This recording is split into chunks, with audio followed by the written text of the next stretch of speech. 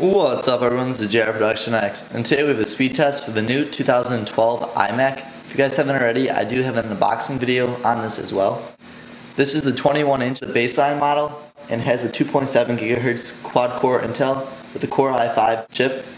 It has 8 gigabytes of RAM, and we're going to test out the speed on this. So I'm going to show you guys that this is the right Mac. So you can see right here, this is the new updated iMac. So let's get started.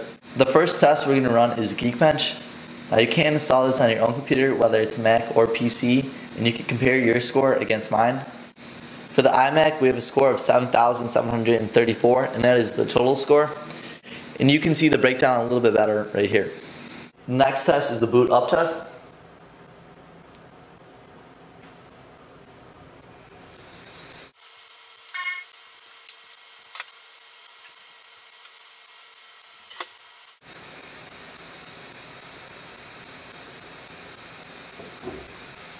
Took about 55 seconds for it to completely boot up.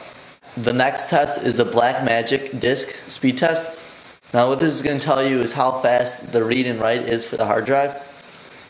So it's pushing about anywhere from 90 to 100 megabytes for write and about the same for read as well. For the next test is going to be a stress test and we're going to open up multiple applications at once. And here's all the apps that I'm going to open.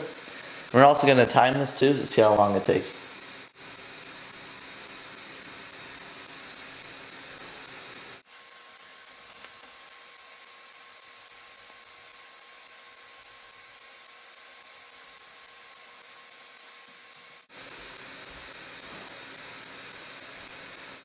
And it looks to be about done. It took about 46 seconds around there.